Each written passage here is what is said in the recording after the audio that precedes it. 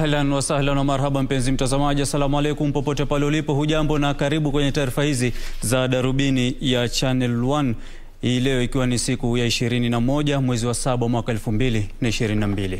Bila shaka mtazamaji, tumekuandalia mengi kutoka humu nchini, lakini kabla ya taarifa za leo? Na bila shaka mtazamaji, leo ndani ya studio tumebahatika kukuandalia uh, zoezi la mwigo kuhusiana na ujumlishaji wa kura. Je, baada ya mtu wa mwisho kupiga kura katika kituo cha kupigia kura mm -hmm. uh, ni taratibu gani zinazojiri? Ndani ya studio tuko na maafisa wa IBC na siku ya leo tutakueleza mengi zaidi upate kujua kuhusiana na zoezi la kuhesabu kura, mm -hmm. kujumuisha kura na vilevile vile kuwasilisha kura katika eh, matokeo ya kura katika kituo kikuu katika ukumbi wa Bomas. hadi pale rais atakapotangazwa pamoja na viongozi ambao wewe utakuwa umewachagua uh, wakati wa uchaguzi hapo baadaye. Lakini kwa sasa, hebu tuangazie taarifa ambazo zimegonga vichwa vya habari hivi leo, lakini kwanza tupate vidokezo.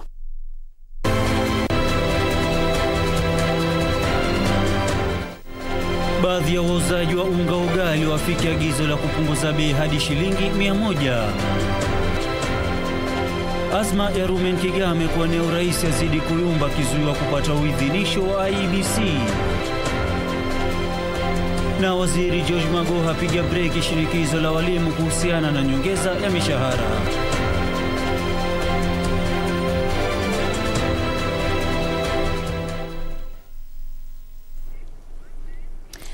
Karibu mtazamaji kwa taarifa za leo. Mimi naitwa Beatrice Gatonya Ngetich. Mimi naitwa Ahmed Jumabalo, ukipenda niite AJB. Mwenzetu wa lugha ishara ni Byron Abuli. Mahakama ya rufani imesimamisha kwa muda agizo la mahakama kuu la kumruhusu mgombeaji urais Ruben Kigame kuwasilisha stakabadhi zake kwa tume ya IEBC ili kuidhinishwa. Uamuzi huo unatokana na rufaa iliyowasilishwa na tume ya IEBC ikielezea sababu za kutoweza kutekeleza agizo hilo kutokana na ukosefu wa muda wa kutosha.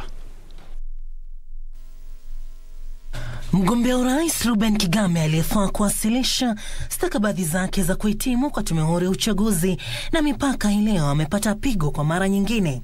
Hii ni baada ya mahakama ya rufaa kusimamishwa kwa muda utekelezaji wa agizo la mahakama kuu lililompa afueni mgombeaji huyo kwenye azma yake ya kugombea urais. Wakili wa Kigame John Haminwa alikuwa ameambia mahakama kusubiri mteja wake awasilisha karatasi zake na kwamba hata hivyo hakuwa amepokea stakabadhi za rufaa hiyo. Hata hivyo, wakili wa IEBC Eric Gumbu alipinga kauli hiyo akisema ni mbinu ya kuchelewesha kesi hiyo na kwamba wamekabidhi stakabadhi za rufaa hiyo kwa wahusika wote. Suala hilo litasikizwa na kuamuliwa Jumatatu na jopo la majaji watatu ambao ni Wanjiru Karanja, Francis Tuyot na Helen Omondi.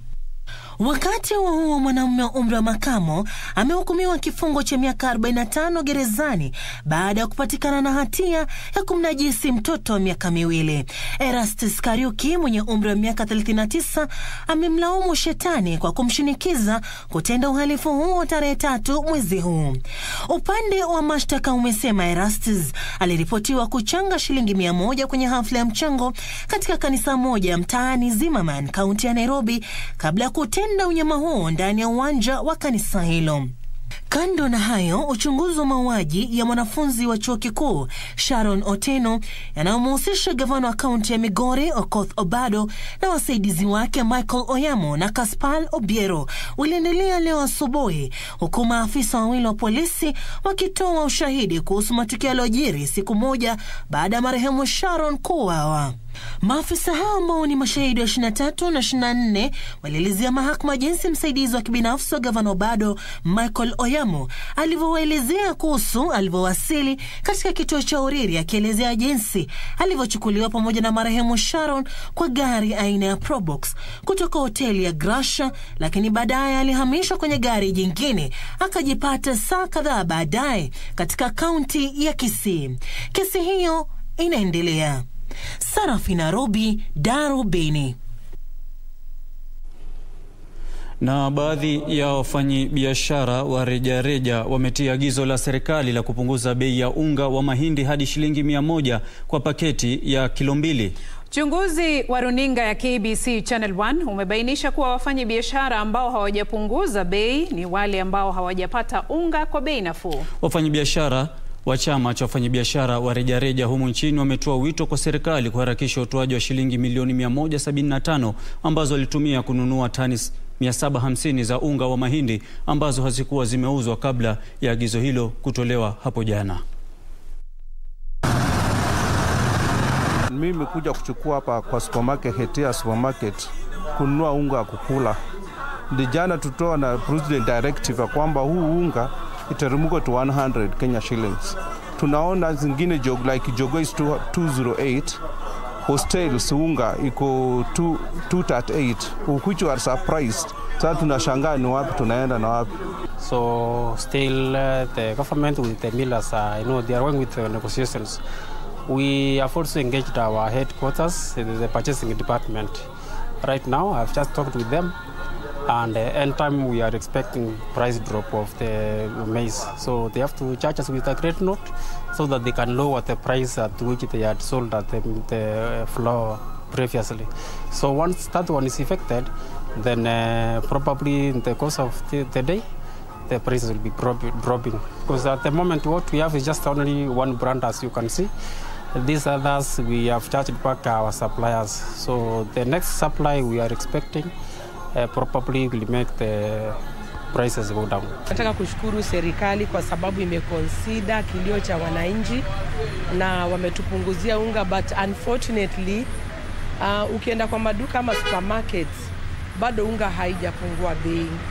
Eh, kwa mfano saa hii natoka Naivas hapa Mwembe, hapa Posta, nimenunua unga ya sima ambayo imeshuka kutoka kwa bei ya 230 mpaka 198. Tulikuwa tumesumbuliwa na wateja sana sana, maanake wanangoja unga wa mia, unga wa mia, unga umefika 230, lakini sasa tunasema ni asante sana kwa rais wetu, unga umeweza kutufikia jana. Ningeomba kwamba wa adjust na ile price rais alisema jana, so that iko effective like kama ni 100 ni 100 throughout the country. Lakini kwa maduka bado tutateseka, unga uko gali mia mbili mfuko na mia mbili ishirini. Na hapa tuliposimama ni eneo la Tuskys Kilifi. Bei ya unga kiukweli inaumiza mwananchi wa kawaida, maanake mia mbili, kuna wengine hata kazi hawana. Sasa hiyo pesa ya kununua unga inakuwa ni ngumu. Maisha inaenda mbaya, maisha mbaya. Niko na njaa sasa mbaya sana, sijakula kitu. Waache kuangusha unga juu, tuko karibu kufanya uchaguzi. Kwa hivyo mimi naomba serikali iache mzaha kabisa. Tukisonga mbele, huku nchi hii ikijiandaa kwa uchaguzi mkuu ujao, Wakenya wanaendelea kutoa wito wa amani na utulivu. Kundi la wanabodaboda la ESHAK ambalo linajumuisha vijana kutoka eneo bunge la Suba Kaskazini, kaunti ya Homa Bay, limezindua kampeni ya kuhubiri amani na kuhamasisha wanabodaboda kuhusu uendeshaji salama wa pikipiki hizo. Wycliffe Okech na habari zaidi.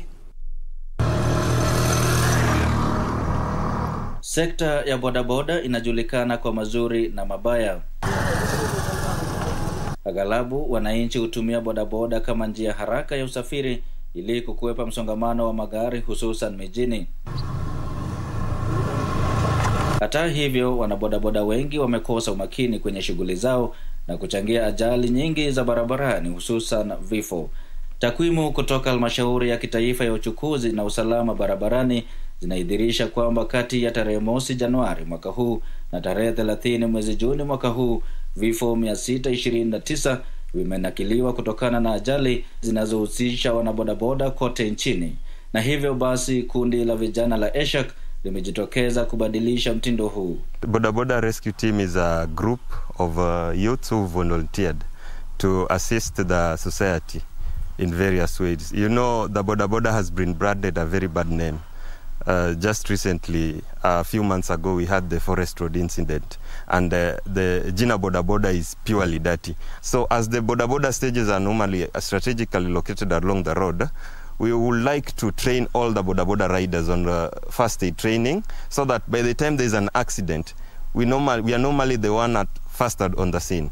So we know what to do and uh, equip all the stages with the first aid kits. Kando na uhamasisho kuhusu usalama barabarani, kundi hilo pia linataka kuwe na mbinu maksusi za kushughulikia mikasa na nafasi ya mtoto wa kike. You know, the boda boda rides, uh, uh, the boda boda riders are rampant on the on the early childhood pregnancy sisi ndo tunapea wasichana mimba and we speak the same language with our fellow riders and we know these people right so it is easier for us to talk them out of this bad habit At times, we have time with the ESHAK Bodaboda team to visit even the sick people in the hospital. So we donate whatever little we have so that we see the sick people. Others are unable, um, others are being neglected. So uh, whenever we visit them, we provide something. as we are going to deal with road safety and uh, safe riding awareness, NTSA, please chip in. Other NGOs and uh, government institutions that deal with the early childhood pregnancies, kwa kuje pamoja, sisi ndo tunapatia hao watoto mimba and it's known. That's not a lie. Uh, wakuje tushirikiane so that we talk these guys out of this idea. Na katika msimu huu wa kampeni, kundi hilo la ESHAK limetoa wito wa kudumisha amani, ujumbe uliokaririwa na viongozi wa kidini pamoja na wanasiasa. We will wish that we talk about peaceful election because before the response to the problem, we want to have an initiative on how to prevent such kind of issues. Eh, na tungependa this time tusitumiwe tear gas. You, I don't think if tear gas is meant for us. Si vema tupoteze mtu kwa sababu kwa ajili ya mtu mmoja ama kwa ajili ya kupiga kura, lakini ni vema Mungu alinde wa Kenya tukazidi kuwa katika umoja na katika ule ushirikiano. This time round this election we are telling Kenyans that mawe ni ya kujenga. Yes. Wycliffe okay. Mtazamaji, ni muhimu kila Mkenya kudumisha amani wakati uh, kabla na wakati na hata baada ya uchaguzi. Na bila shaka mtazamaji, kumbuka kwamba uh, jirani yako atasalia kwa jirani yako, rafiki yako atasalia kwa rafiki yako hata baada ya tarehe tisa. Ni muhimu kufahamu kwamba Kenya inakuhitaji mimi na wewe na kila anayekuzunguka. Bila shaka. Na mtazamaji, tunafikia wakati ambapo tunaelekea kwenye mapumziko. Tukirejea ni taarifa zaidi kutoka humu nchini. Usende mbali.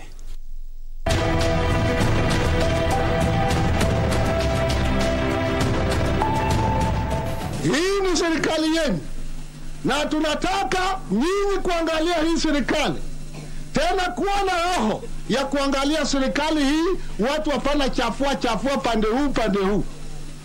Usikubali kwa watu kuchafua serikali, na usikubali kwa serikali aende kando. Ikiwa kama unaona sisi tuko na kasro, sema wasi. Hapana haye, hapana kaa kimya. Utasema tu kwa sauti ya wale watu wenu ambao iko katika parliament.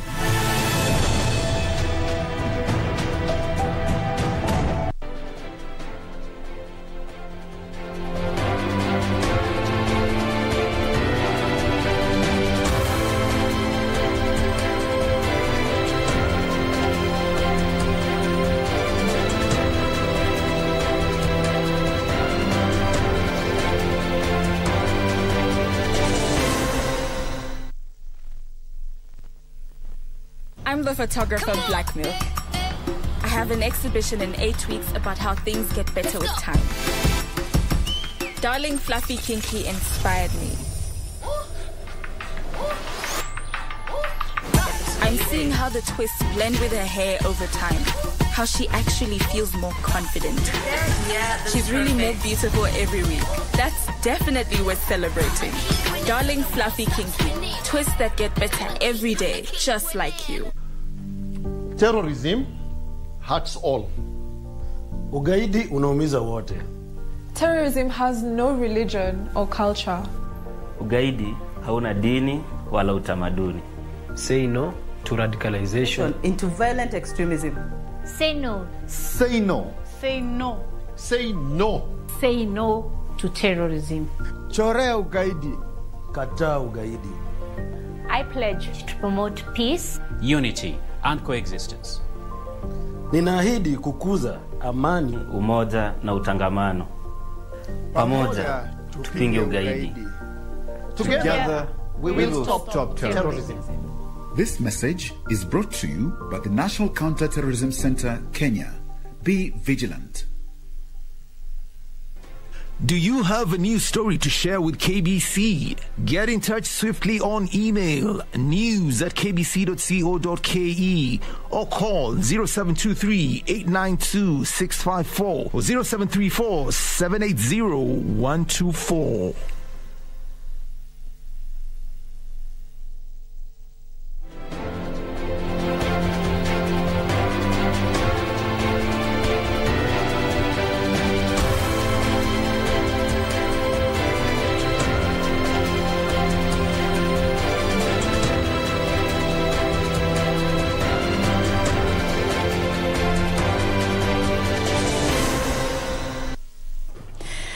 Tena mtazamaji, unaendelea kutazama darubini ya Channel 1. Naibu Rais Dr. William Ruto amesema mfumo wa kiuchumi wa bottom up utaangazia utoaji mikopo yenye masharti nafuu kwa wenye biashara ndogo na pia za kadri ili kukuza uchumi na pia kubuni nafasi za ajira hapa nchini Kenya. Ruto aliyekuwa akiendeleza kampeni katika kaunti za Tana River na Lamu pia aliahidi kushughulikia tatizo la ukosefu wa ajira miongoni mwa vijana wa humu nchini iwapo atachaguliwa kuwa rais wakati wa uchaguzi mkuu wa mwezi Agosti. Naibu wa Rais William Ruto aliongoza muungano wa Kenya Kwanza kufanya misururu ya kampeni katika kaunti za tanariva na Lamu. Akiongea katika eneo la Mpeketoni, Ruto alielezea mipango yake ya kufadhili biashara ndogo ndogo na za kadri iwapo atafaulu kuingia Ikulu. Wengi hawana title deed, hawana logbook, hawajulikani huko kwa bank. Wakijaribu kukomba pesa, wanakomba kwa jamaa hapa anaitwa Shailo, anakupatia elfu kumi baada ya wiki mbili anasema rudisha elfu kumi na tano. Wewe utafanya wiki mbili utoe wape elfu tano juu ya ingine? Mwaka huu tutaweka pesa ya serikali kwa biashara ya mwananchi wa kawaida pia. Ruto alitumia fursa hiyo kutoa ahadi ya kuangazia swala la ukosefu wa ajira miongoni mwa vijana. We need a Marshall Plan on matters youth unemployment. And that is why as Kenya Kwanza we are saying we are going to invest 200 billion every year so that we can sort out the youth unemployment in textile industry, in leather industry, in wood industry, in manufacturing. Haya yanajiri huku makao makuu ya kampeni za Ruto yakilalamikia hatua ya kupokonywa haki za kutumia uwanja wa taifa wa Nyayo kwa mkutano wa kampeni tarehe sita mwezi ujao. Uh, indeed, we received a cancellation letter, uh, but that is a breach of contract because that had been uh, that cancellation letter has been done under duress, and we will want the ministry responsible to revert back to the contract that we had agreed on as we continue the preparations.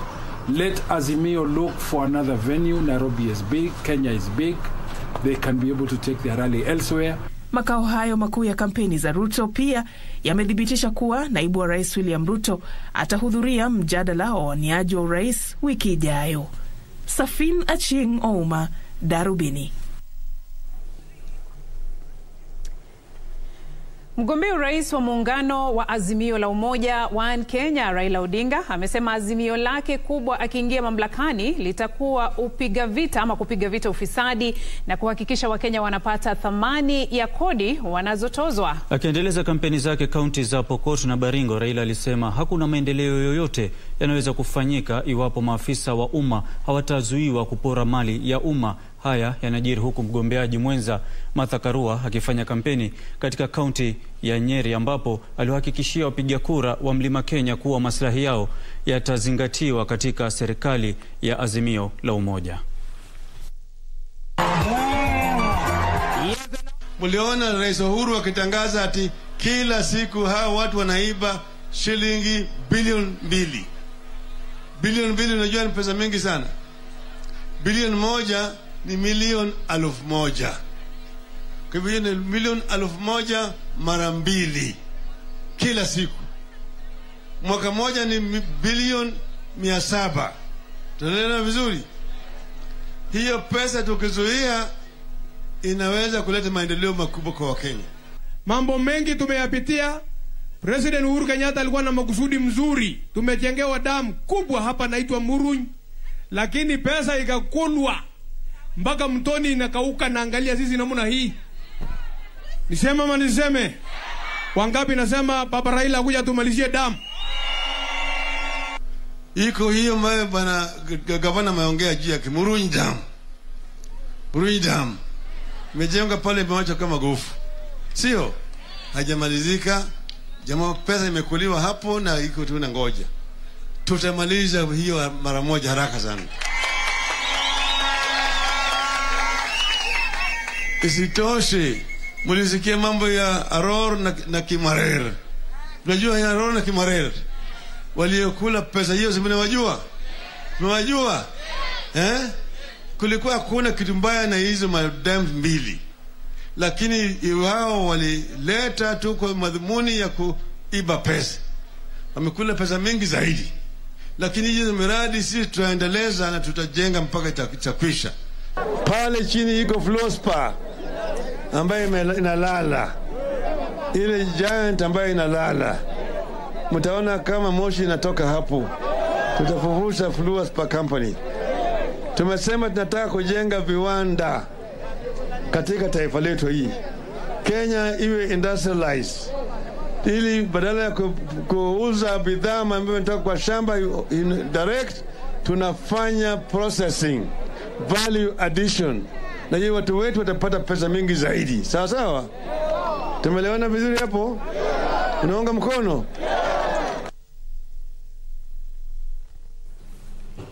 Na makundi ya waangalizi wa uchaguzi pamoja na mashirika mengine yana wasiwasi kuhusu maandalizi ya uchaguzi mkuu na mbinu zilizowekwa kudhibiti mizozo kabla, wakati na baada ya uchaguzi mkuu. Makundi hayo yaliyokutana jijini Nairobi kukadiria mikakati iliyowekwa kuhakikisha uchaguzi wa amani yalielezea wasiwasi kuhusu ongezeko la taharuki za kisiasa baina ya wana wafuasi wa mirengo mbalimbali ya kisiasa, uharibifu wa mabango na kampeni ya kampeni na ongezeko la visa vya uhalifu katika kaunti tano humu nchini uh, huku uchaguzi ukikaribia. Ben Chumba na taarifa hiyo. Huku zikisalia siku 19 kabla ya uchaguzi mkuu wa Agosti 9, makundi maalum ya kufuatilia uchaguzi pamoja na wadau wa serikali kuhusiana na maandalizi ya uchaguzi wameibua wasiwasi kuhusu jinsi Kenya inavyojiandaa kwa uchaguzi mkuu. conflict in relation to elections emanates mainly at the point of management of results. Tume huru ya uchaguzi na uratibu wa mipaka nchini IBC ilichapisha zaidi ya wagombeaji elfu kumi na sita kwa uchaguzi huo. Ni nafasi 1882 za uwaniaji zilizopo, hii ikiwa na maana kuwa zaidi ya wagombeaji elfu kumi na nne watashindwa katika uchaguzi mkuu wa Agosti 9. focusing on the question of, on, of uh, winning and losing elections. What parties, supporters, and their members should do. Preparing for winning and preparing also for losing. If you lose election, then what should you do? If you win election, then what should you do? Because both of them are possibilities. Kati ya magavana 47 wanaoshikilia nyadhifa hizo kwa sasa, 21 miongoni mwao wanamalizia kipindi chao cha uongozi.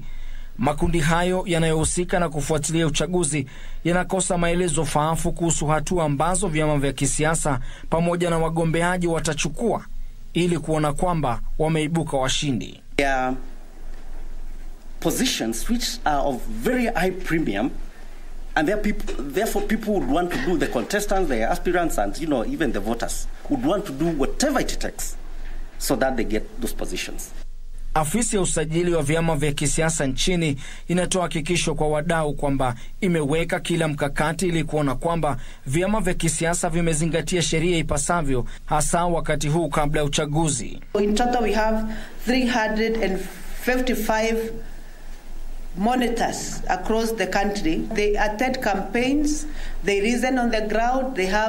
total, we have 355 monitors across the. They record.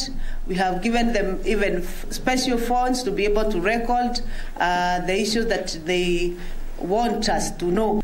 Haya yanajiri huku tume ya uwiano na utangamano nchini ikitoa ripoti kwamba kuna ongezeko la visa vya uhalifu Nakuru, Mombasa, Nairobi, Lamu na Uasin Gishu. is increased fear into the communities, and already there are reports of self uh, displacements among communities. Some are beginning to flee and to return to their homes, which, again, ladies and gentlemen, is a concern for us as the NCIC. Ben Chumba, Darubini.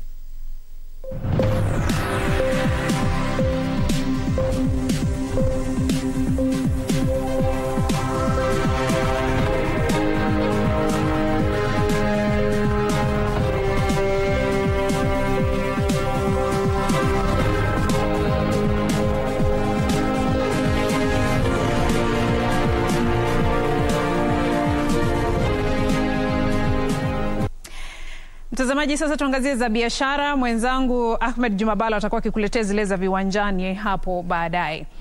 Utumizi wa vyuma ni kigezo cha kasi ya usawa katika taifa lolote. Hapa nchini Kenya, watengenezaji wa vyuma wamelazimika kupambana na uhaba wa malighafi licha ya ongezeko la haraka katika mahitaji ya bidhaa hiyo ama ongezeko la asilimia 30 katika bei ya malighafi kwa kipindi cha mwaka mmoja uliopita. Mwanahabari wetu ibak seid anaangazia kwa kirefu misukosuko inayokabili sekta hiyo. Sauti ya vyuma kugongana wakati wa kupakuliwa viwandani. Ni mwisho wa shughuli za siku hapa katika kiwanda cha Mabati Rolling Mills kilichoko Athi River katika kaunti ya Machakos. Wafanyakazi wanagoma hivyo kutamatisha ngurumo za mitambo huku wakifurahia huduma za mitambo hii licha ya kuwepo wasiwasi kuhusu mgomo mwingine ambao unanukia. Imekuwa miezi tangu mgomo wa mwisho ambao ulidumu mwaka mmoja katika kiwanda hiki kulalamikia malipo duni, ambapo usimamizi wa kampuni hii ulikumbana na uhaba wa mali ghafi na baadaye ongezeko kubwa katika bei pale zilipoanza kupatikana.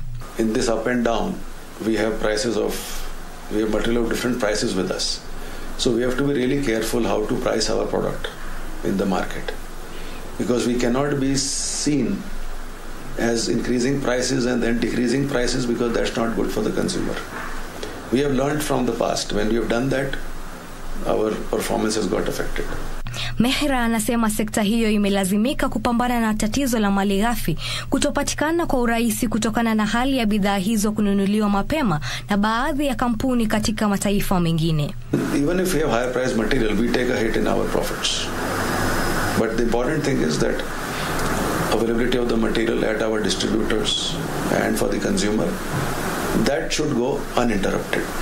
Anasema ijapokuwa kampuni hiyo ilidumisha wafanyikazi wote, ililazimika kusimamisha mishahara sawia na kupambana na misukosuko ya bei, jambo lililohitaji kuwepo usawa kati ya kuwakinga wateja kutokana na misukosuko ya bei na kulinda biashara.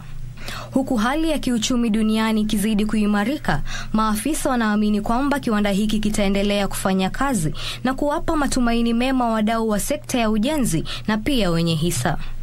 But now we are able to get material. Prices will also stabilize.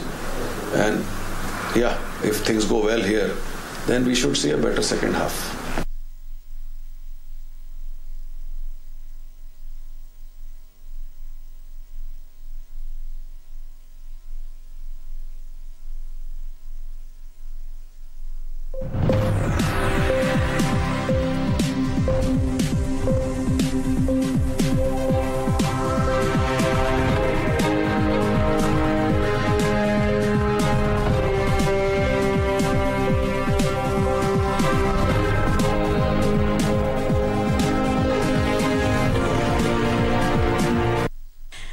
Mwenzangu kukuletea zile za spoti, waziri wa elimu Profesa George Magoha amepuzilia mbali shinikizo la walimu la nyongeza ya mshahara ya asilimia 60 akisema serikali kwa sasa haiwezi kutimiza matakwa yao.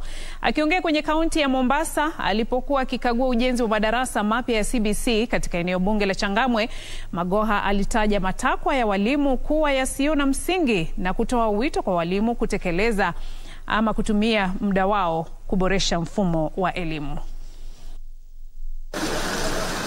Waziri wa elimu George Magoha alizuru kaunti za Kilifi na Mombasa kukagua ujenzi wa madarasa mapya ya mtaala wa umilisi CBC.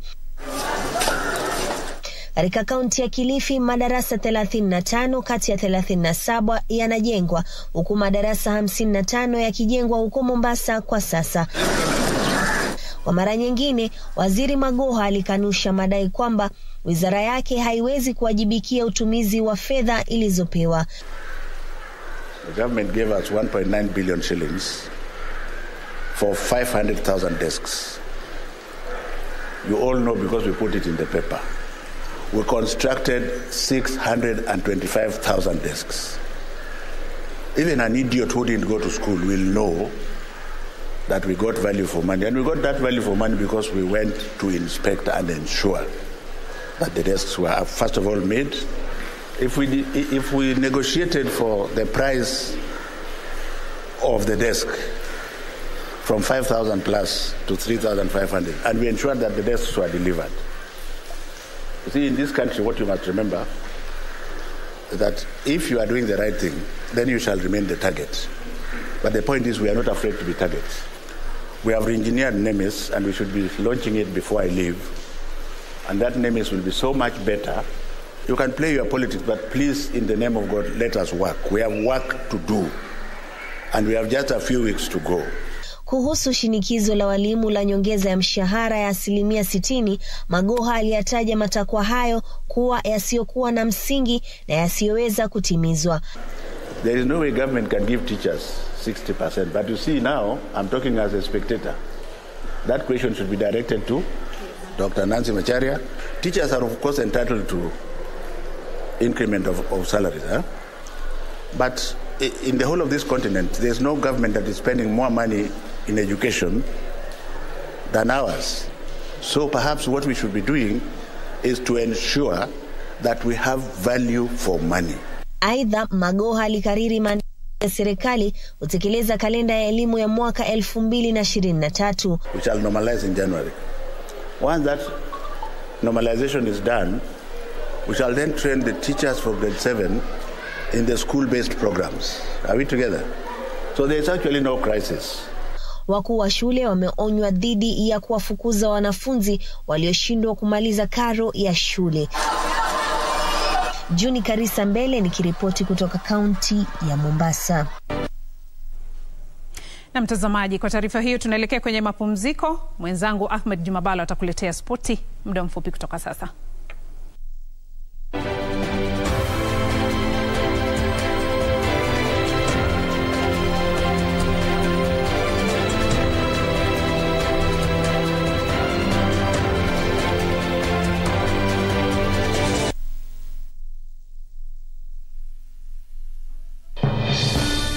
We shall legalize weed. Professor George Luchiri Wajakoya of the Roots Party. Semeni baba kea. Baba kea.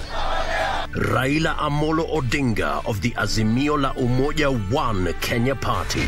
Unajua mimi sina pesa ya serikali ama ya kashfa. David Mwaure Wahiga of the Agano Party. And tunasema kazi ni nini William Samoei Ruto of the Kenya Kwanza Alliance. Presidential Debate 2022. Do not adjust your sets.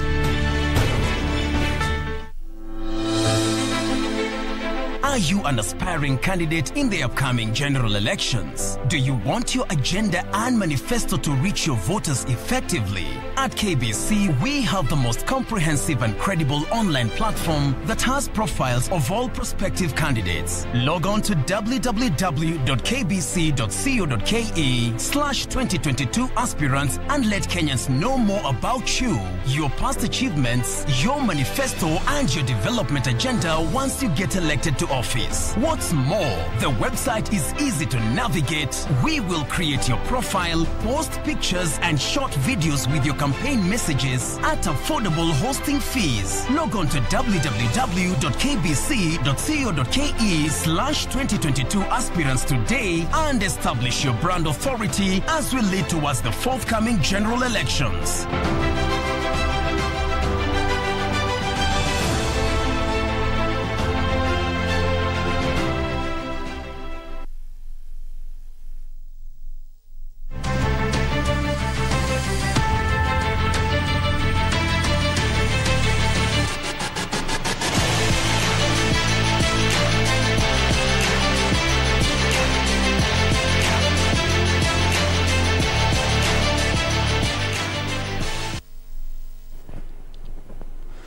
Na mpenzi wa spoti, sasa ni zamu yako. Kenya ilikosa kunyakua nishani leo asubuhi kwenye mashindano ya riadha duniani jijini Oregon nchini Marekani baada ya mwakilishi wake pekee kwenye mbio za mita elfu tatu kuruka viunzi na kidimbu cha maji Celestine Chespoi kumaliza katika nafasi ya 13 kwenye mbio hizo ambazo mshindi alikuwa mwanariadha mzaliwa wa humu nchini Nora Jeruto wa Kazakhstan. Saufinchas Paul alimaliza fainali ya mbio za mita elfu tatu kuruka viunzi na kidimbwi cha maji katika nafasi ya 13 kwa muda wa dakika 9 sekunde 27.34. Nora Jeruto wa Kazakhstan alitoa dhahabu. Pulverized the championship record. Gold. Hata sikuwa najua kama nitakimbia kwa sababu nikiwa nilikuwa naumwa na goti hits nikasikia magoti, lakini sasa hakuna visho, so nashukuru nimekimbia, nimemaliza kosi. kwa natarajia kama nitamaliza kosi, nikiwa ilinishinda kabisa yeah. Hakuna fizo ambaye alikusaidia Beatrice Chebet, Margaret Chelimo na Gloria Kite walifuzu kwa fainali ya mbio za mita elfu tano itakayoandaliwa tarehe 23 mwezi huu. Chebet na Chelimu walimaliza katika nafasi za tatu na nne kwenye nusu fainali ya kwanza, naye Kite akamaliza wa sita kwenye nusu fainali ya pili, lakini aliweka muda wa kufuzu.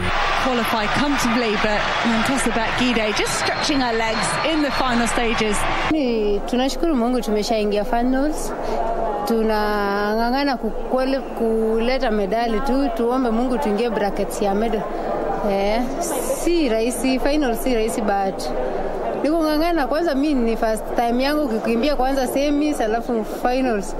Mi huwa nakimbianga tu finals once, so wacha tu tu ops mambo mazuri mbele. Hatuwezi sema hatuwezi tutaleta medal sama, tunataka kung'ang'ana tuone tuko tu brackets ya medal. Na I thank God this is my first time kwa world championship.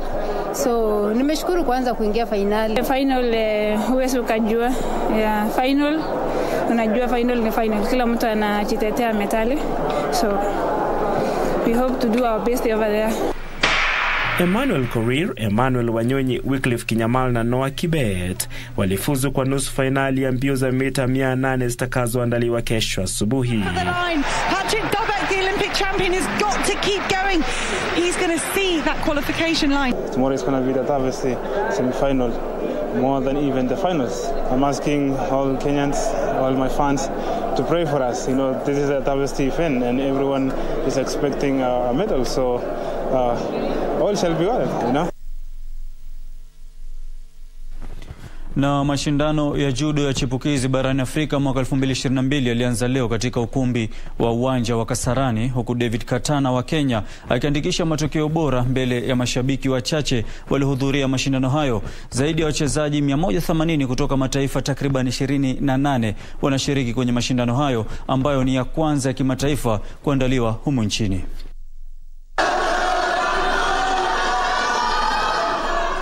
David Katana alianza vyema siku ya kwanza ya mashindano ya chipukizi barani Afrika kwa kushinda mechi zake mbili za ufunguzi, kwanza dhidi ya Kablan Ario wa Kodiwa, kisha akamlemea Bernard Keden wa Afrika Kusini. Katana ananuia kushinda medali kwenye kitengo cha kilo chini ya 55. Matokeo ya Katana yaliwamotisha wenzake, huku Daniel Kelly akimshinda Evodius Birukundi wa Burundi kwenye kitengo cha kilo chini ya 60.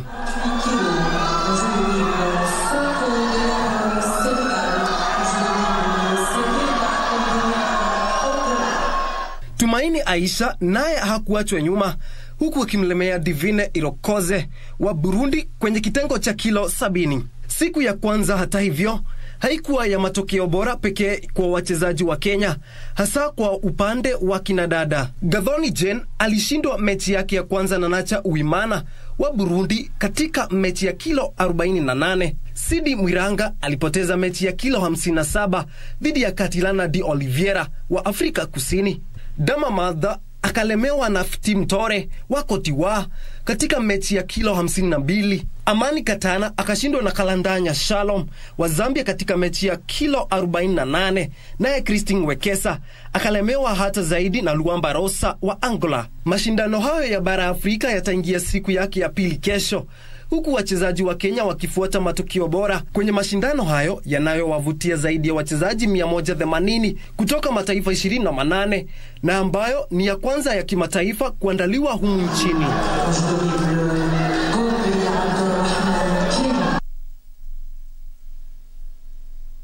Aliyekuwa bingwa wa dunia katika mchezo wa kurusha mkuki Julius Yego ana matumaini ya kunyakua tena taji la dunia kwenye mashindano ya riadha ya dunia ambayo yataingia siku yake ya saba kesho asubuhi jijini Oregon nchini Marekani.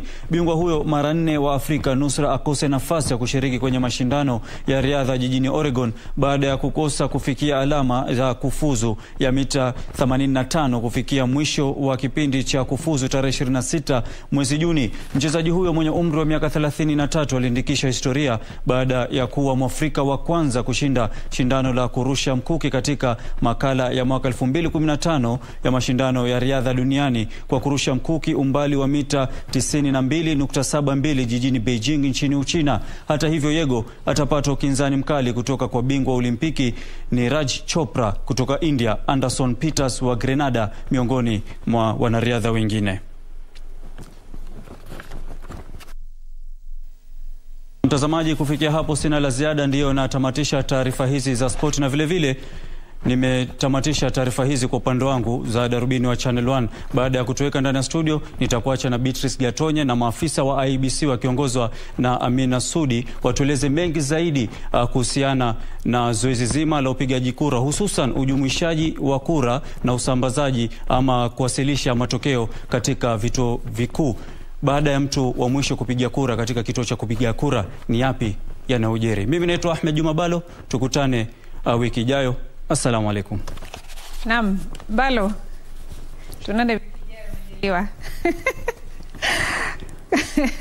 na mtazamaji uh, karibu sasa upande huu uh, wa studio ambapo tumekuandalia kituo cha upigaji kura na tuna onyesho hapa maalum uh, iwapo wewe ni mpigaji kura uh, kwa mara ya kwanza na iwapo umekuwepo katika uh, kituo cha kupigia kura, je, mambo yako tofauti tarehe tisa? Tuna maafisa wa IEBC hapa jioni ya leo wakiongozwa na Amina Sudi ambao watakuwa wakitueleza na kutuelekeza na kutupa uh, mwelekeo zaidi kuhusiana na upigaji kura. Uh, msimamizi wa kituo hiki cha kura jioni ya leo anajulikana kama Amina Sudi. Uh, karibu sana. Asante sana dada Beatrice. Sasa uh, bila kupoteza wakati, mpigaji kura wa mwisho amefika katika kituo hiki mm -hmm. Labda kwa dakika moja atuonyeshe uh, jinsi atakavyomaliza kupiga kura, alafu sasa tuweze kuingia katika hali ya kuhesabu kura, ujumlishaji na pia jinsi matokeo hayo yatakavyoelekezwa katika uh, kituo kikuu cha kujumlisha kura cha Bomas. Lakini kwanza kabisa uh, naomba uh, kwa usaidizi wa maafisa wako mtuelekeze kutuonyesha Kituo sasa kinaelekea kufungwa saa kumi na moja jioni. Mpiga kura wa mwisho amefika katika kituo, ni hatua zipi ambazo anafanya, kisha baada ya hapo sasa tufunge kituo na tuelekee kwenye hatua ya pili. Karibu. Asante sana dada Beatrice na karibuni sana. Uh, hivi ndivyo itakavyokuwa. Huyu mpiga kura wa mwisho ataingia na ataangaliwa vidole vyake, kweli hajapiga kura na hapo hapo ataangaliwa ID yake, maanake ni muhimu aje na stakabadhi zile alizotumia wakati wa kupiga wa kujiandikisha. Kwa hivyo ataangaliwa ID yake, je, ndiye yeye, alafu ataelekezwa vidole vyake kwenye KIMS. Akionekana hapo watamuona kama ni yeye kweli na yuafaa kupiga kura kwenye kituo hichi hapo hapo atapewa ID yake, ataenda kwa clerk number 2. Clerk number 2 atampatia uh, karatasi za kupigia kura ambao tunaziita ballot paper, na ahakikishe imepigwa stampu nyuma, kwa sababu bila kupiga stampu nyuma hiyo karatasi haitakuwa na maana. Kisha atapewa karatasi zake sita, tatu na clerk number 1 na ta, eh, mbili clerk number 1 Uh, wa pili na clerk number 2 3 atampa tena mbili na clerk number 4 atampa tena uh, mbili. Kwa hivyo zote kwa, kwa jumla atakuwa na, kla, na karatasi za kupigia kura sita. Lakini kwa leo kwa sababu hili zoezi tunataka kumalizia, tumefanya kwa mfano, amepewa hii karatasi moja uh -huh. aende akapige. Ninaona karatasi hizo zina rangi tofauti Amina. uh -huh. Sijui kama kuna yule labda mama mzee kutoka kule kijijini haelewi, kuna mtu atakayekuwa akimsaidia kumwonyesha kwamba hii ni karatasi ya president, uh -huh. hii ni ya gavana, ama uh -huh. kutakuwaje? Akifika kwa clerk number 2 atakapokuwa yuwampatia zile kadi uh, ballot papers atamweleza. Hii ballot paper hii ni ya president hii ni ya nani mpaka afike zote sita. Na anapompatia pia lazima amweleze. Akipiga kura apige alama moja. Na akisha kupiga alama moja atumbukize kwenye boksi linalofanana ufiniko wake na hiyo ballot paper. Mm, kwa hivyo zitakuwa ballot boxes ni sita hapa lakini leo kwa mfano kwa, ta, kwa, ta, kwa sababu tutataka kuonesha namna ya kuhesabu tumeweka boksi moja. Aha, haya ameenda amepiga kura. Ehe. na tumesema wakati akipiga kura tumejaribu yule clerk amkunjie namna hii. Mm -hmm. kwa sababu tumesema akikunja hivi tu, hii alama itabaki hapo hapo. Tukikunja hivi tulisema itafanya nini? Alama iweza kumwagikia huko kwengine eh, akimaliza atapiga kura na anapopiga kura ahakikishe rangi ya karatasi ya kupigia kura imefanana na ufiniko wa hiyo ballot box Mm -hmm. na kwa upande ule watakuwa observer na media na na agents wanamuona mm. -hmm. mm. Aha, kwa hivyo katika kituo cha kupiga kura Mm -hmm. ah, ashamaliza. Asante sana Mm -hmm. ah, umesema tayari kuna observers mm -hmm. na media ah, nani wengine? Uh, akishamaliza anaondoka nenda nyumbani. Eh, eh, hasali hapa hasalii hapa. Eh, Lakini lazima kabla hajaenda ni aekwe rangi ya vidole. Kwa sababu asipowekwa rangi ya vidole huyu rafiki aweza kurudi.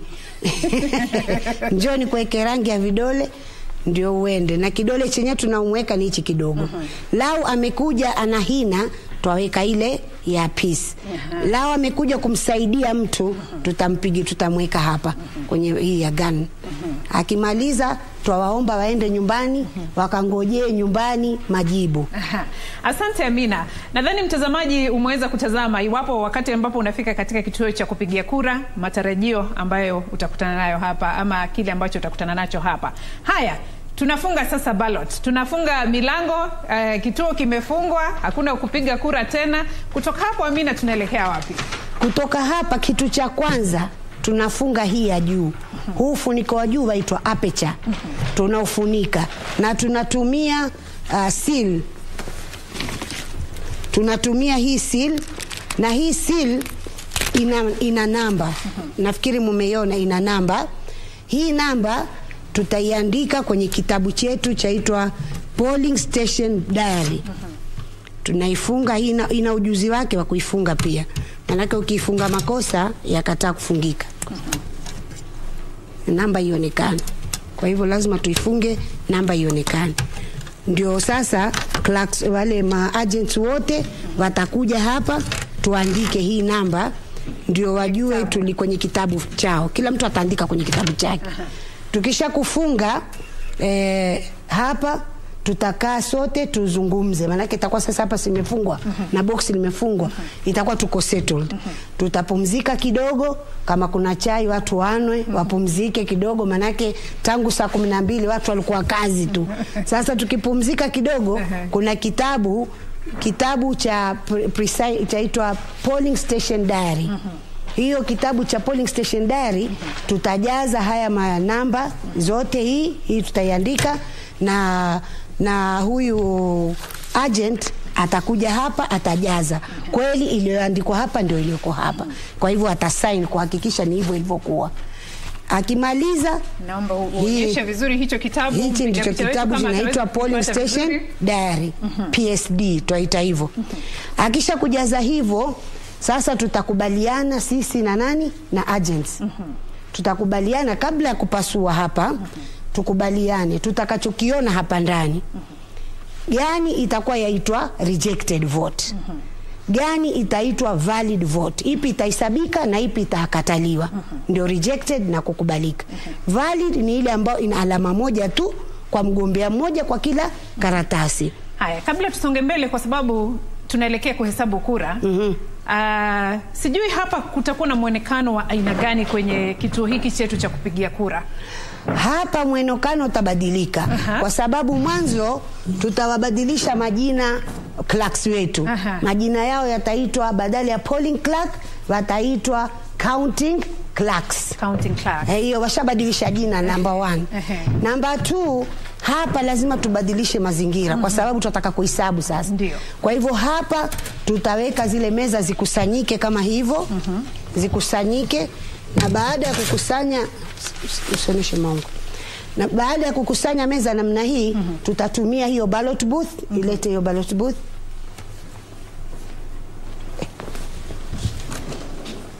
ifungue Aha, ilaze. Aha. ilaze ilaze Ah, que Mhm.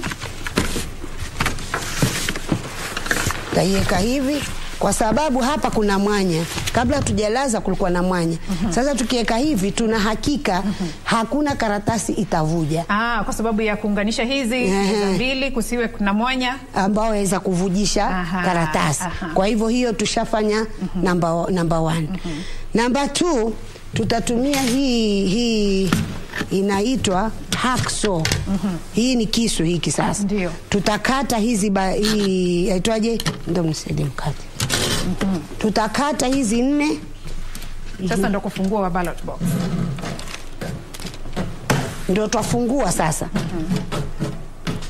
kama kungekuwa na kile kisu tungekata Haya, wakati tunafungua mm -hmm. uh, boksi hii, maajenti, observers, media wameketi wapi? Watakuwa upande ule, lakini kwa sasa wakati tu, tumesha kuamua ni hivi, hapa pia tutaweka meza zitafuata mpaka mwisho. Aha. Ikiwa ni, ni klasi watu waweka madeski Ndiyo. ikiwa kuna namna yote ya kublock ili agents wawe kwa upande ule mwingine. Kuona wataona lakini hawana ruhusa ya kukushika ya maanake pengine mtu kwa hamasa ameona yuenda kushindwa aje atake kukudhuru. Kwa hivyo twajaribu twaweka deksi zote hapa kwa line ili asiweze kufanya nini? Kuvuka, kuvuka. kwa hivyo hiyo ndio kazi huwa twafanya wakati huo. Kwa hivyo ni kuhakikisha usalama wa kura. usalama wa kura na usalama wa, afisa wetu. maanake ashatufika. yashatufika wengine wakataka kushika wenzao koo Ehe, yashatufika. Baada ya hapo agents wote lazima waweko. Ni vizuri yani waweko. Kwa sababu agents wakiweko ndio watapata ku, kuona kila kinalichotokea. Wengine watakwambia agent tulifukuzwa. Ikiwa kituo ni kidogo sana.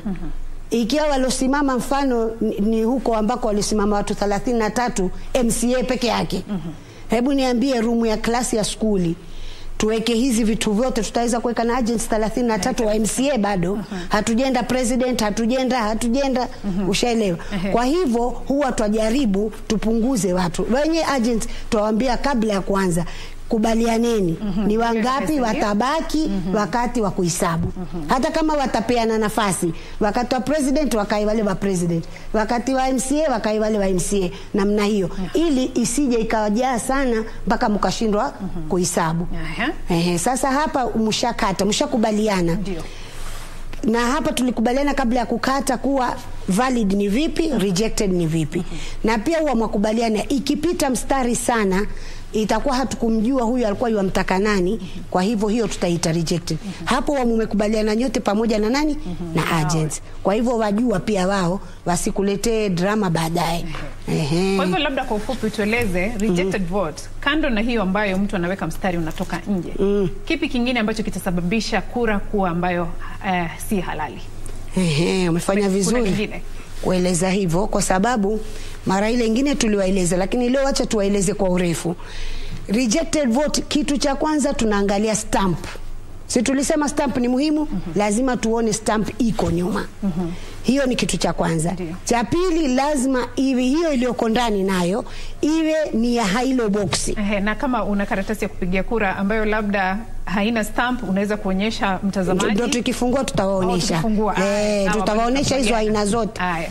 la mara nyingine mtu amepiga mara mbili mm -hmm. itakuwa haifai.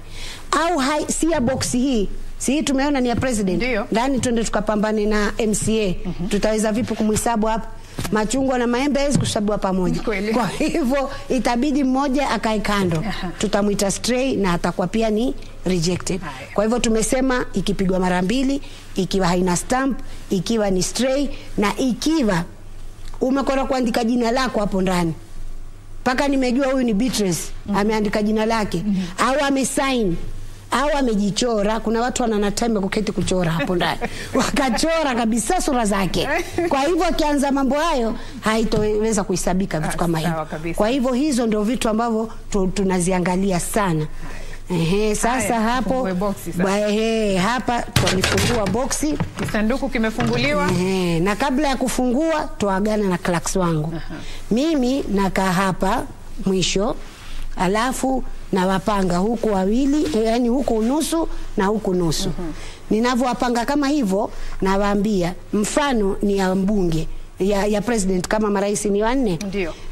Namwambia clerk huyu wa kwanza atashika ya ule wa kwanza. Huyu atashika wa pili. Huyu atashika wa tatu, huyu atashika wanne nne. pale ninapotangaza akisikia nimetangaza ni ya wa kwanza wa kwanza atapokea. Mm -hmm. sawa? Mm -hmm. kwa hivyo mwanzo tufungue. Haya. tuweke chini hii. Kisanduku cha makaratasi ya kura sasa kimefunguliwa. Ehe, alafu ndio hizo.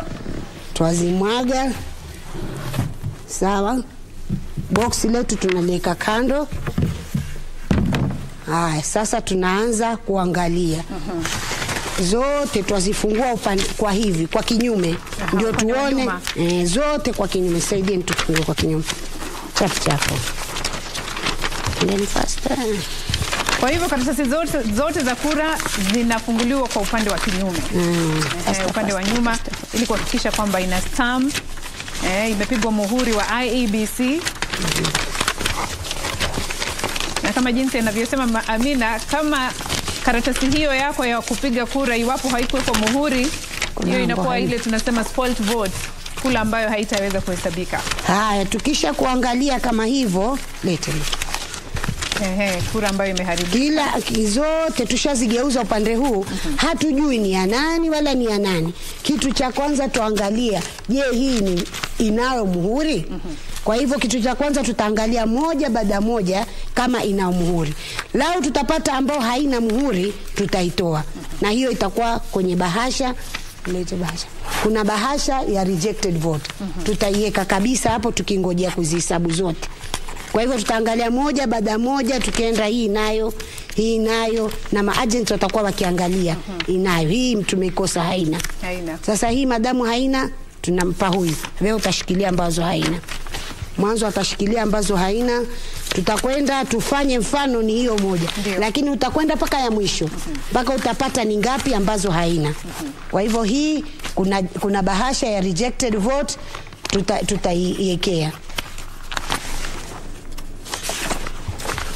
tutaiweka hapo ndani ikingojea wenzake. Si tumesema kuna wenzake pengine waweza kutokezea, ambazo nawaomba Wakenya tafadhali tuwe makini. Hata hii haina haja kutokea. Wakati ukipiga kura, kuwa makini na uangalie, uhakikishe huyu clerk amekustampia sawa. Kwa hivyo tuhakikishe jambo kama hilo. Sasa twaanza kuhesabu. Weka chini bahasha. Tukianza kuhesabu, twaanza kuangalia. Si hizi niko nazo, ya kwanza ndio hii. Mm -hmm. Hii ilikuwa ya president kweli? Haikuwa ya president. Kwa hivyo ni rejected, si rejected? Ni rejected. Nini ni stray? Yeah. Ina bahasha yake ya stray. Utaangalia stray. Iliingia mahali ambapo ambapo siko. Pasta, pasta. Hii hapa. Fungua, fungua. Ehe. Tutaiweka stray, funguo utii. Haya, umeiangalia hivyo ukasema hiyo ni stray kwa sababu gani? kwa kwa sababu ya... tumeiona kala yake iko tofauti na wenzake haiko kwenye box ya president Ehe. kwa hivyo hii ni stray Kala yake ni gani? ni nyeupe Aha. hata tukiangalia tu bila ya kwenda mbele hii pia nayo ni stray hii nayo ni stray tutaangalia kila ambao kala sio ni stray sasa umeziona hizi zote ni kala tofauti ndo tumeziweka hapa hizo tushazitoa. Tutakuja kuzihesabu baadaye. Twende next. Haya tuangalie hii. Ukiangalia hivi waona hii koje Haya, naomba mpiga picha wetu ah, Umeiona? jinsi huyo mpiga si kura umeona hivi? Sasa wewe utajua ya nani kweli? Ameanza kutoka ya wa pili mpaka wa kwanza mpaka haisabiki. Hii sasa hata agents wako pale watakuwa wakiona. Watasema kweli hii ni ya nani? Hawawezi kujua pia wao ijapo waona tiki imeanza kwa fulani lakini amepiga mpaka na kwa mwingine kwa hivyo tutaihesabu rejected hii nayo ina boksi yake ya rejected Ah, twende ingine. Hii tumeiona ni ya nani? Mwanzo naisoma mimi. Hii ni ya leta, mtu aitwa leta hapa. Sasa leta, si umeona? Ibale mwanzo utafanya hivi, utaiangalia ni leta. alafu utawaonesha agent, sote wataona haya kila mtu alioko pale nje baada ya agents kuna na nani? Kuna na wananchi pia watakuwa wako hapo. Kwa hivyo watakuwa wakiangalia. Umeona nileta ehe. Huyu namba one tulisema ni ya ni wa mgombea namba one. Hii ya namba two leta. Haya tuende hii Eh, huyu ni ri, mfano pata namba 4 wampa huyu namba 4 na lao watakuwa wagombea ni zaidi ya wa, wale namba ya clerks wako wamwambia clerk namba 1 wewe utatukua 1 2 na 3 Ndio. clerk namba 2 3 4 5 na 6 namna hiyo. Kwa hivyo atajua ni hivyo. Kwa hivyo utaendelea utaendelea mpaka kila kila moja utapata Haya, kila mmoja amepata kwa sababu ya muda sasa Ehe. songe kwa haraka kidogo Mm -hmm. haya tayari tumemaliza sasa kukagua kura zote tumezihesabu Mm -hmm. baada ya hapo kipi ambacho kinafuata kwa haraka. Ehe, mkimaliza kila mmoja atakuwa shapewa zake. Hisabu shika zako. Kila mmoja ashapewa zake. Sasa tutaanza, shikilia tu vizuri. Tutaanza namba ule clerk number one. Utamwambia ha hizi zako za mtu wa number one, lete ile form. Eh, utaleta ule clerk number one utamwambia haya wa, wa, zako zilikuwa ngapi? Tutazihesabu na yeye. Za mtu number one ilikuwa moja tutahesabu wote moja mbili zilikuwa mbili. mbili peke yake. Naandika hapa number one mbili. Haya leti za clerk number two kama na zimezidi zaidi ya mbili mfano ni hamsini tutazipiga rubber band tuziweke kuna valid vote watia naomba Amina mm. uh, kwa sababu ninaelekezwa kwamba tuna muda unatuishia. mm. Haya, ushajaza hapo, ushamaliza. Kutoka hapo kwa sekunde chache, kura hizi sasa, ujumlishaji wa hizi Mati. kura sasa tayari ushamaliza.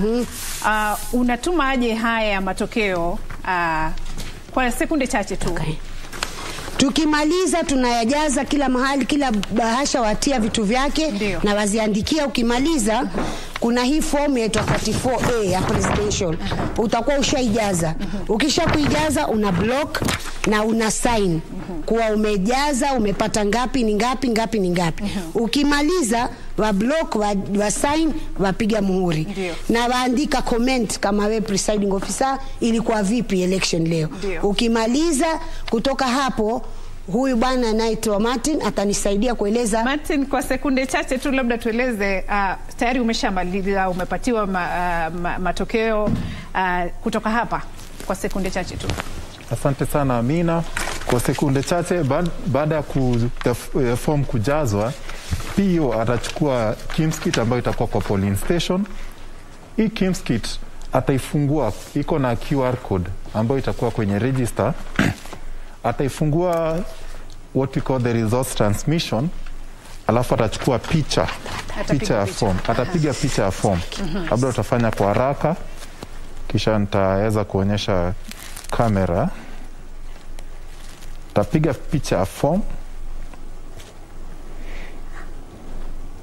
taipiga picha ile form Uh, mwelekezi wangu ananiashiria hatuna muda. hatuna muda, kisha atatuma atatuma ile form. Ehe. Hii form itapatikana kwenye IBC public portal ambayo tutashare na wananchi jinsi ya kupata zile form. Mm -hmm. Baada ya hapo akimaliza kuhesabu the other five elective positions atabeba hii form ampelekee constituency returning officer, msimamizi wa eneo, uh, Bunge. eneo bunge. Eneo bunge. Baada ya hapo the constituency returning of, eh, officer atajaza zile form kwa form 34B. mm -hmm. Form A zote atazijumuisha kwa form 34B. Baada ya kujumisha atawapa maejenti wa wagombeaji wa katika constituency tallying center. mm -hmm. Baada ya hapo atabeba form 34A ambayo alipata kutoka kwa PO na form 34B ambayo amejumuisha form 34A za hiyo constituency mm -hmm. kisha ampelekee National Returning Officer ambaye atakuwa Bomas. Bomas. Baada ya hapo the National Returning Officer akipata form 34A and 34B mm -hmm. atajumuisha form 34C mm -hmm. na kisha atatangaza matokeo na percentage ya kila mgombeaji kwa kila kaunti. Asante. Yes, Asante Martin, muda ndio umetuishia. Okay. Ah, lakini bila shaka kumekuwepo na hatua nyingi ambazo tumeweza kuvuka, lakini hata hivyo, asante kwa sababu umeweza kumwelekeza mtazamaji na kumwelezea uh, ingawaje uh, kwa kina tu uh, jinsi um, upigaji kura, ujumulishaji wa kura na pia kutumwa kwa matokeo ya kura uh, katika Uh, uh, kituo cha ujumlishaji kura cha kitaifa na hadi pale ambapo mshindi ama rais anatangazwa. Uh, hawa ni maafisa wa IBC ambao wamekuwa hapa ili kuhakikisha kwamba unaelewa zaidi hatua za upigaji kura uh, na ni hatua zipi ambazo zinachukuliwa uh, wakati wa kuhesabu kura, matarajio ni yapi na kando na hayo uh, baada ya kuhesabu zile kura kujumulisha na kisha kutangazwa kwa mshindi, natumai umeweza tu kufahamu kwa uduchu uh, kile ambacho uh, utatarajia tarehe tisa mwezi Agosti mwaka huu, wakati ambapo taifa litakuwa likielekea kwenye uchaguzi mkuu. Naitwa Beatrice Gatonya Ngetich. Imekuwa fahari yangu kukuletea onyesho hili uh, la ujumlishaji wa kura na kuhesabu kura kutoka kwa maafisa wa IEBC. Hadi wakati mwingine, nadhani watakuwa na onyesho lingine, sijui kuhusu nini lakini tutakuwa tukikueleza. Usiku mwema.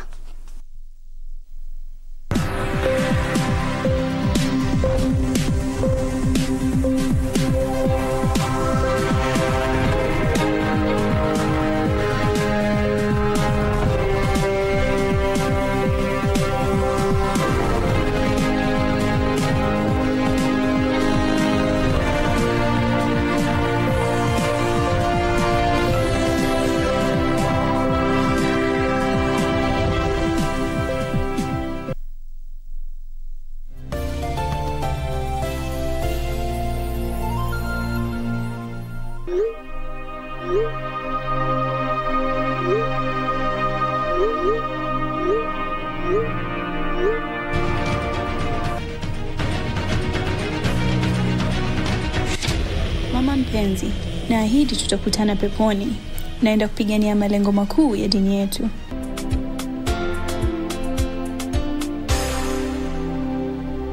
What life had Hamida chosen? At the end, she was brutally murdered. Is this the life you want? If you know anyone who might need our help, please call our